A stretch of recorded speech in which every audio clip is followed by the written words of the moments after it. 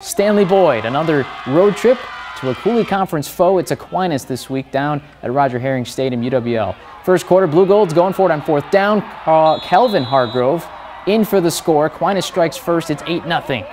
Then the Blugolds next possession, another fourth down try, and the gamble pays off again. Jackson Flatmeyer, a dime to Quinn Miskowski for the score. Aquinas is on top 16 0.